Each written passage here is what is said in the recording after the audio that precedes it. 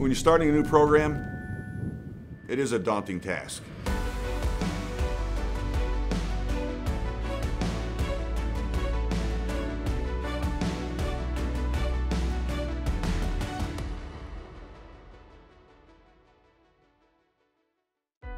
We started this new program, one thing that uh, Barney and I talked about is we need equipment. We have nothing. These kids are coming to us with nothing. We're in uh, what's called Forsyth County. We really don't get anything from the school as far as support on transportation, officials. There was no equipment here at all. There were no balls, there was no goals, there was nothing. But with the grant that we got from US Lacrosse, I was able to provide these kids all the equipment and immediately we got about 10 to 15 kids who jumped on the opportunity and they're now with the program.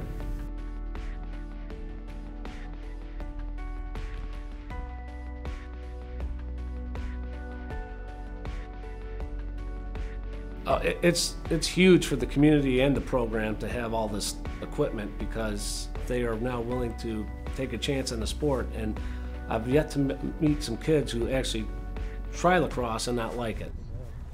Shoot me throw it, if you catch it, you roll it. There you go. Very simple. Keep it going. Go. Appreciate you guys having me today. Uh, thanks to Cascade, yeah, US Lacrosse for having me. I'll say before we even do shooting stuff, uh, I've gotten to play at some crazy levels. Like when I look back with college and you know for Team USA and professionally, and my best memories were in high school. So I hope the best for you guys. Still, those guys I remember playing with uh, back outside of Philly. So couldn't be happier for your program.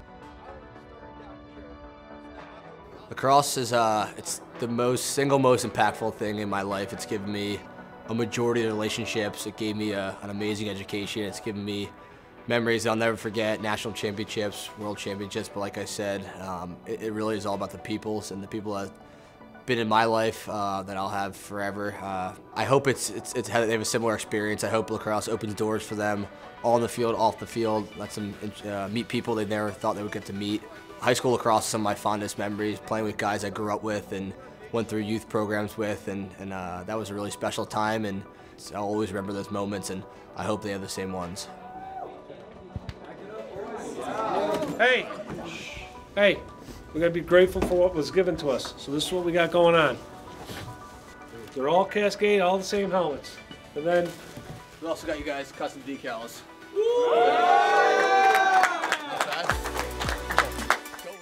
Yeah, lacrosse is a interesting sport because you're so glued to something uh, compared to other things, and it's so personalized. So seeing them with their first type of equipment uh, was really cool. I still remember getting my first stick back in first grade and just being at all the things I was trying to do and emulate players before me. So it, was cool to kind of uh, come full circle today.